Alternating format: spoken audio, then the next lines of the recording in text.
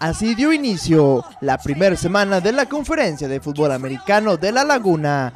La Liga Coefal arrancó este sábado en su primer encuentro.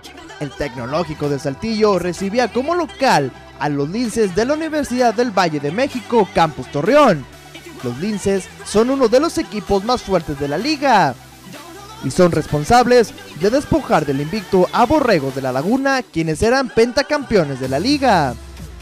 En el primer cuarto, los burros pardos aprovecharon que estaban en su casa y ponían rápidamente la ventaja en el marcador. En el segundo cuarto, los burros anotaron un gol de campo con autoría del número 8, Luis Bacardo. En el tercer cuarto, los linces se empeñaron a recuperar el balón.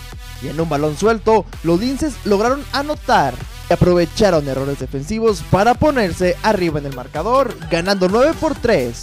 En el tercer cuarto, los linces aumentaron su ventaja, terminando el encuentro 14 por 3, lo que significa la primera derrota para los burros, quienes ya tienen puesta la mira en su próximo rival, las Panteras del Tecnológico de Chihuahua, a quienes espera obtener la victoria. Para recta final, Juan Sánchez.